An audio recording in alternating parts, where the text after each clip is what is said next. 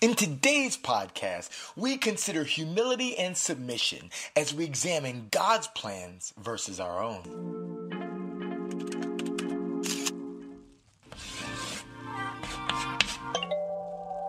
Hey there, welcome to the Five by the Fire podcast. I'm your host, Armand Sheffy, aka Pastor Fury, and I'm also the executive director of the Unshackled Network, a family of missionaries that exists to help the marginalized experience freedom in Jesus by equipping and empowering disciple makers called to the forgotten.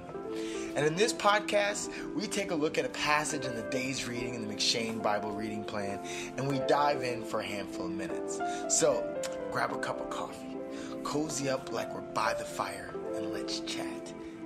This is Five by the Fire.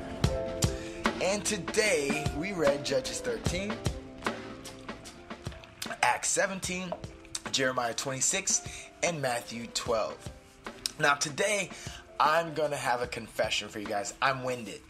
I'm recognizing that I went too far out to sea and I'm concerned about the energy I'll have left to row back to shore. Or said in another way, um, my passion and ambition pulled me too close to the sun, and my wings, like Icarus, are beginning to melt. Okay, enough with all the metaphors.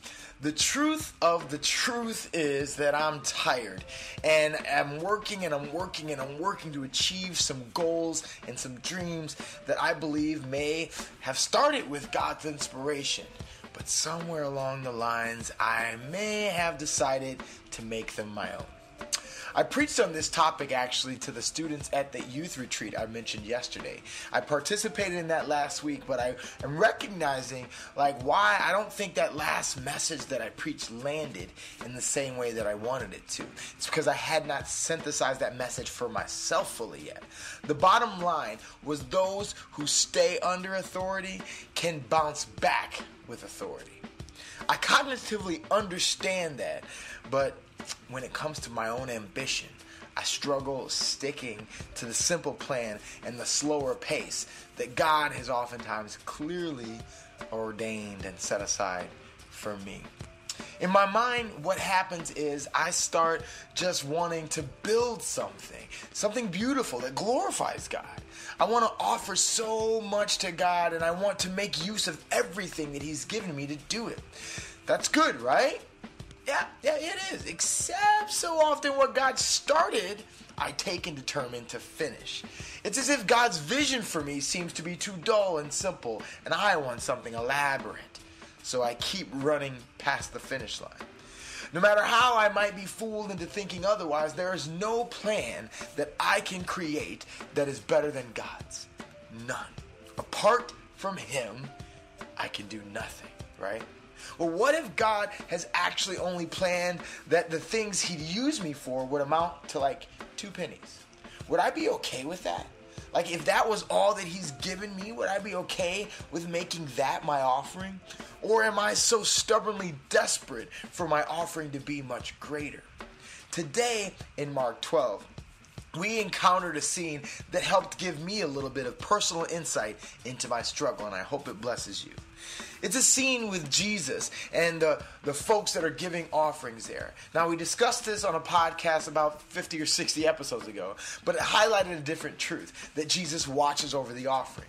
But today, let's read it and see how else God might use this text.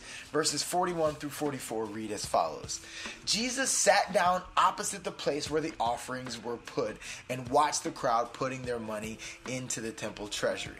Many rich people threw in large amounts, but a poor widow came and put in two very small copper coins, worth only a few cents. Now, calling his disciples to him, Jesus said, Truly I tell you, this poor widow has put more into the treasury than all of the others. They all gave out of their wealth, but she, out of her poverty, put in everything all she had to live on. You guys, God had these people like a diverse that he gave them all a diverse amount of financial success there were rich folks there were poor folks those that had a lot gave a lot And then there was the poor widow who only had two copper coins and she gave all she had, that small, humble offering. But Jesus didn't tell her, I'd be more pleased if you found a way to make more money and give me more of it. He says that actually she put in more than all the others because she surrendered to God all that He had given her. She trusted God with the little that she had and submitted it to Him. She decided that she was going to stay under authority. As I approach the podcast today feeling more and more like I'm a basketball low on air. I'm freshly encouraged. Submit the little that I have, the little that I have left, to the Lord and stay under his authority. Because if I humble myself under the mighty hand of God, he will lift me up at the right time, at least according to Peter. If I stay under authority, then maybe I and maybe you can bounce back with authority. Would you pray with me? Heavenly Father, we thank you. We thank you so much for your wisdom that we receive on a daily basis as we encounter your word. We thank you that your spirit draws unique understanding and insight out of the text each and every day that we read. Lord God, we thank you that you meet us afresh as we read your word, Father. And I do thank you that today you are reminding me of the core reality that no matter how good and how godly the ambition is, if it's not submitted to you, it's vanity, it's hevel, like it's it's just wind, it's breath. Lord God, I thank you that hmm, as you remind me to stay under authority, that you are filling me back up, that I can even feel my spirits right now being encouraged, that the the uh, the wind is being put back into my sails, and the ball is being inflated again so that I can bounce back, Lord God. And I pray for each and every one of those right now listening that they themselves would seek out any places where they are operating outside of your authority, Lord God. Show them based on frustrations, exhaustion, places where their energy is lower than usual, Lord God. Help them to see that in, as they are, are beyond a season of that, Lord God, it's the reality oftentimes that we are lacking submission to you, Lord God, because you bless us with life and vitality as we stay under your authority, Lord. Help us to stay. Help us to stay. Help us to stay. It's in Jesus' name we pray. Amen. You guys, I really hope y'all are embracing this today. Um, get under God's authority. This is for me, and I know for many it is for you as well.